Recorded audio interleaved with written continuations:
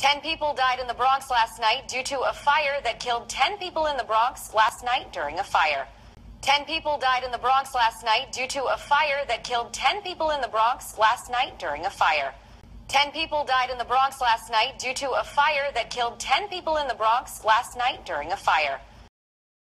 Just do it!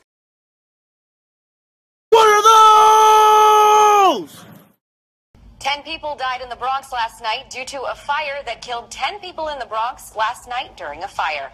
Ten people died in the Bronx last night due to a fire that killed ten people in the Bronx last night during a fire.